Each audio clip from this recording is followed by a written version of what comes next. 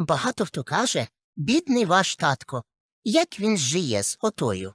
А він, маманчику, що? Просто дістався. Ага, як би не так. Слухайте. Татко прийшов у маманчикову школу класі так у восьмому. Його мати приїхала в школу викладати мову і літературу. То і синочок, звісно ж, з нею. Сказать, що він моєму маманчику не понравився, нічого не сказать. Мале, худе, прищаве дітьо, сорочечці, застібнуті вічно на всі пувички. Та ще й отлічник. Його й посадили за одну парту з Любкою, такою ж вуглуватою заучкою. То й не диво, що в десятому класі вони почали зустрічатись. Мати папанчика, Антоніна Петрівна, ті встречі поошряла, бо Любкина маман торгувала в магазині і могла дістати все, що треба. А мать Любки також не була проти, так як точно була впевнена, що цей хлоп її доці не брат по таткові. Бо жінка вона була дуже любвеобільна, так що Любка в неї схожа на зоотехніка, председателя і його водітеля одночасно, а в метриці був записаний якийсь Петро Петрович. Ну, то не важно. Зразу після школи папуйчика в армію забрали, а Любка лишилась його ждать і скучать.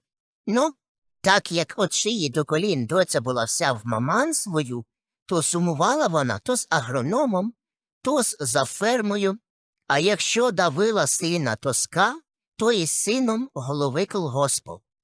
Маманчик вчилася в городі, і про кого, про кого, а про папульку і не згадувала від слова зовсім. Аж тут її подружка, кума в майбутньому, скоропостіжно зібралася заміж. Тож маманчик поїхала дружкувать.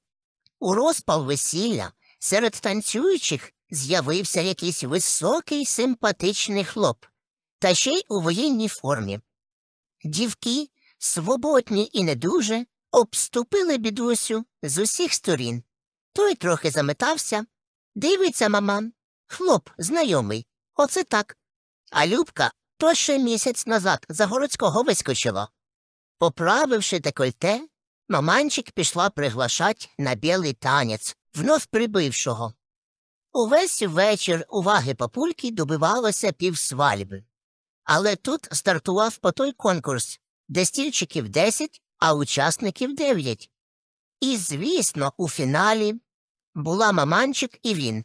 Ну, маман вдало так приземлилася папульчику на коліна на останньому акорді, та так вдало, що йому наступного дня наложили гіпс. І маманчик самозабвенно ходила доглядати його у лікарню, а потім і додому. Не знаю, що там його взяло, чи то її краса, чи котлетоси, але случилась у них любов.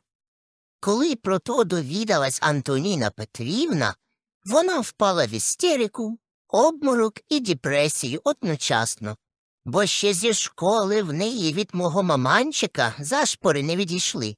Да, вона була хороша дівочка.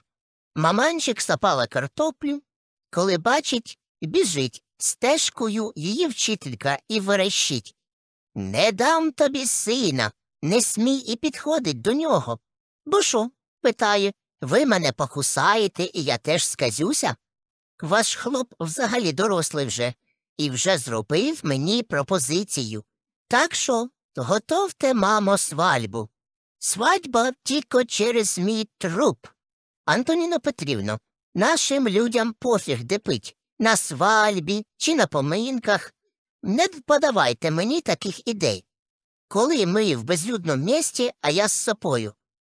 Короче, і участкового визивали, і до бабки їздили, і попа приводили. Но хіба ж для справжньої любові є якісь завади? Весілля тиждень гуляли, місяць похмилялися,